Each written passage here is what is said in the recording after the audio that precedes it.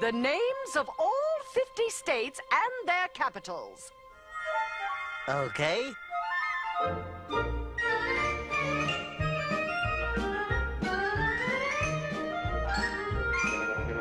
Here goes.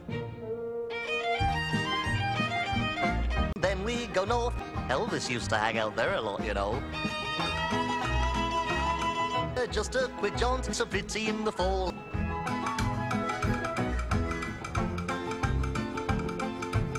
They have wonderful clam chowder.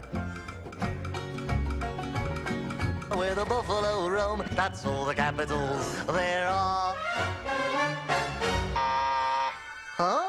Oh, I'm so sorry. You failed to put your response in the form of capitals.